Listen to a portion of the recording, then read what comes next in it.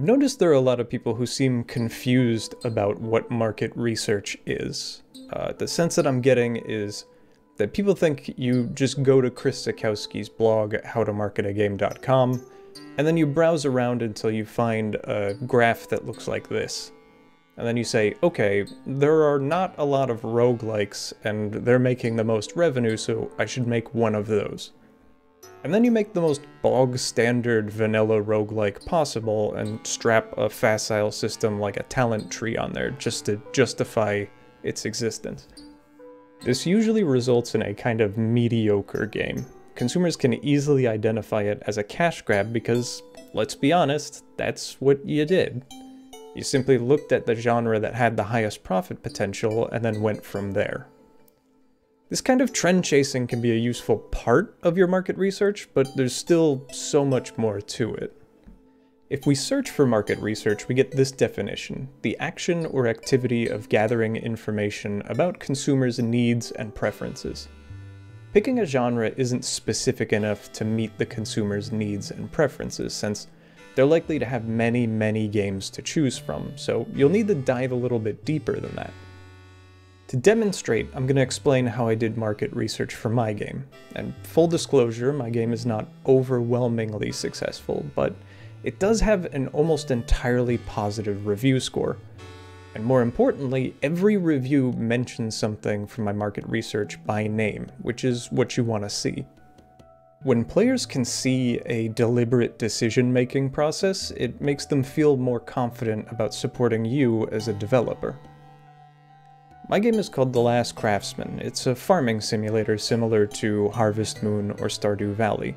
So the very first thing I did when starting development was look for communities that are related to those types of games. We'll take the Cozy Gamers subreddit as a primary example.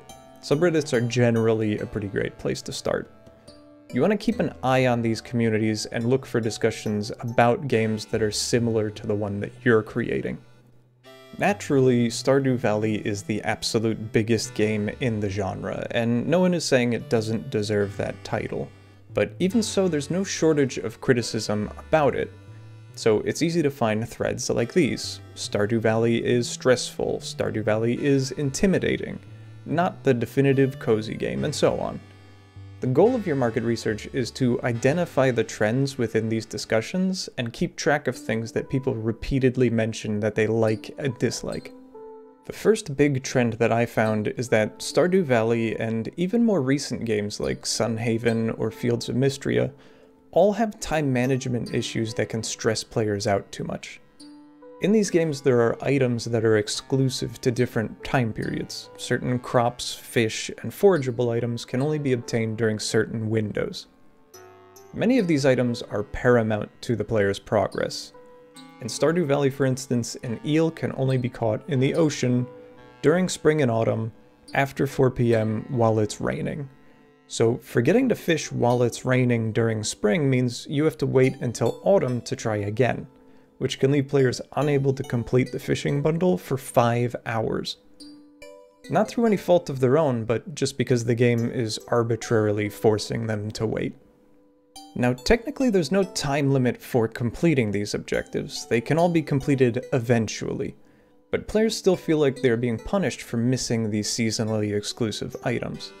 Many of them state that they keep a wiki open for reference so they don't forget about an item and lose time.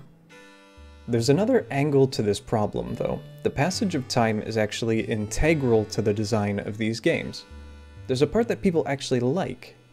They're often also called life simulators, because they simulate living in a small town with a simple job where you make friends and get married.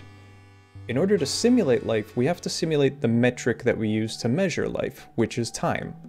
The availability of produce is based on the season in real life, and so it feels more immersive when it works the same way in the game. To break it down simply, players like the feeling of time passing. Seasonal items help promote that feeling, but players do not like that seasonal items impede their progress.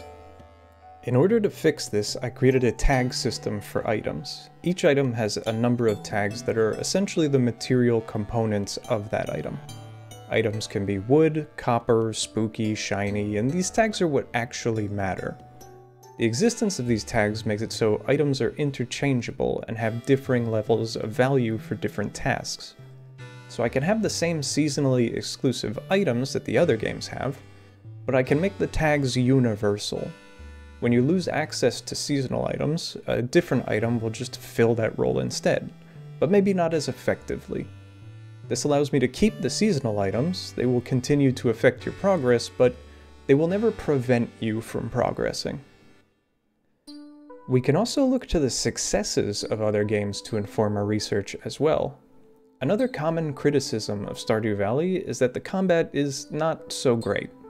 There's a definite trend with this opinion since the same is said of My Time at Portia, Sun Haven, and Little Known Galaxy, which all have very similar features.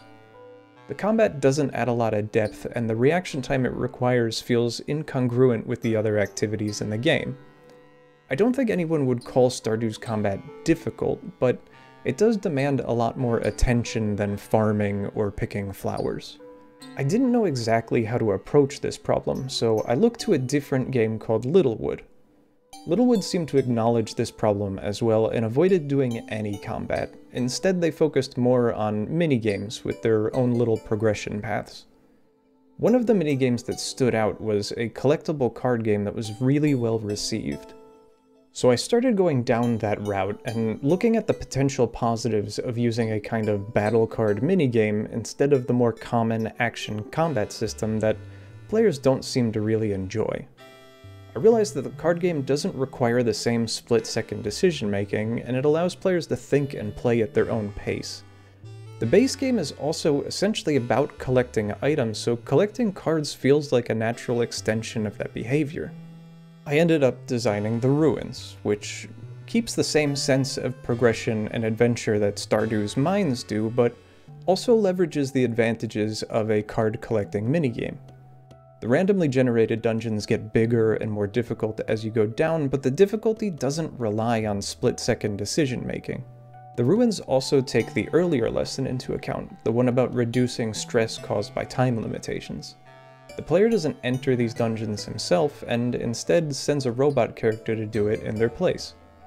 The robot character lives in the ruins, so the player can pause a run whenever they'd like, go do other things, and then pick the run right back up from where they left it.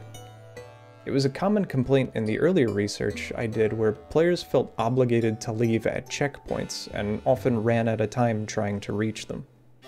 You can also use your own intuition to inform your market research as well, this is really something you can only do if you are already a fan of the type of game you're making.